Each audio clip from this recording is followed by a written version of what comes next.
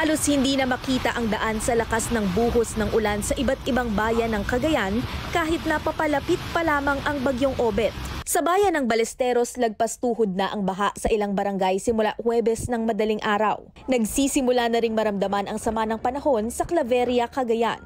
Di rin nakaligtas sa ulan at baha ang Linaw Elementary School sa bayan ng Apari, Cagayan. Nabasa tuloy ang mga gamit sa mga silid-aralan. Binaharin ang Kabayabasan Elementary School sa bayan ng Lalo. Tulong-tulong ang mga guro para ligpitin ang mga gamit bilang paghahanda sa posibleng epekto ng bagyong Obet.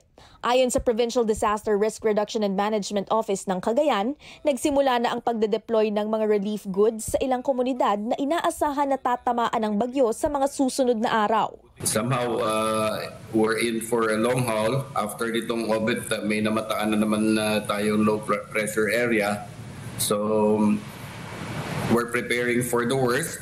Ayon sa pag-asa, inaasahang kikilos ang bagyong Obet pakanluran simula mamayang gabi hanggang makalabas ito sa Philippine Area of Responsibility, Katrina Domingo, ABS-CBN News.